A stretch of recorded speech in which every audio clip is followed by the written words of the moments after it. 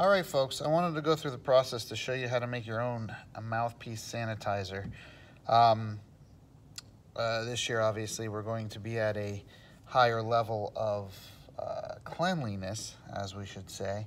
Um, so I wanted to go through the process here. Um, so what you basically need is one of these little bottles. Um, and I got this at Winn-Dixie for like a buck 25 or something like that. You need some rubbing alcohol, and rubbing alcohol is hard to find now, so uh, hopefully you might have some laying around the house um, that, you know, back in a closet or something. You need a little mouthwash, some Listerine, okay?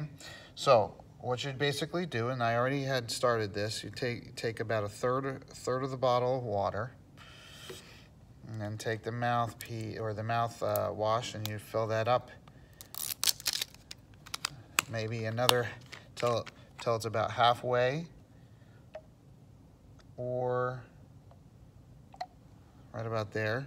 So now you basically have half the bottle of mouthwash and water and then you fill the rest of it away with rubbing alcohol.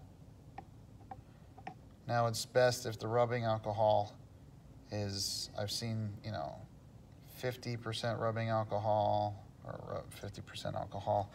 The obviously the higher the content of alcohol in it, the more powerful it's going to be. So then you have you have your mouthpiece sanitizer. So now you're a saxophone player, you're a clarinet player, you get done playing, you take your reed off, you spray the reed a couple times, wipe it off if you had a tissue. I mean, it's mostly alcohol, so it's going to dry quickly. And spray the mouthpiece, wipe it off, and then you can put it back in your case, and hopefully it will be uh, sanitized. Um, you might even want to do it before you play every day, just to, to, to double, you know, be double sure. The same thing, um, I'm also going to ask people to have uh, a kit this year. Same thing for trumpet mouthpieces. Sit there and spray it.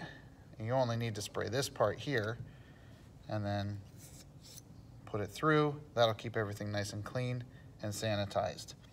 Uh, for flutes, you can do the same thing. You want to have a tissue because it's a little more, um, it can, can run a little more all over, all over the place and then just wipe it off. Or what you could do is get these alcohol prep pads if you want to use them and then just wipe you just wipe the lip plate don't you don't want to have want want to wipe any more than that um, this is a trombone mouthpiece same concept wipe it out clean it out same concept so I'm going to ask that every student get a bottle so that they can just put this in their case and they can have it right there. So when they get either before or after class, um, you can spray your, your mouthpiece to keep it clean.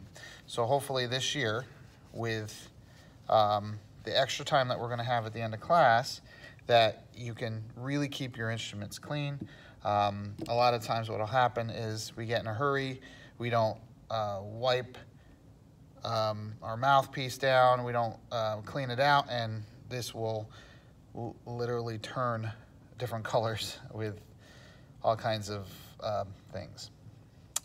All right, so I hope that gives you an idea of what I'm expecting as far as the mouthpiece sanitizer.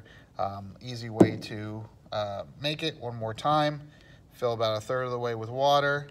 Fill another halfway with mouthwash. So you get about half the bottle with mouthwash and water and the rest of the way with rubbing alcohol. And that will give you a very, very good and effective mouthpiece sanitizer.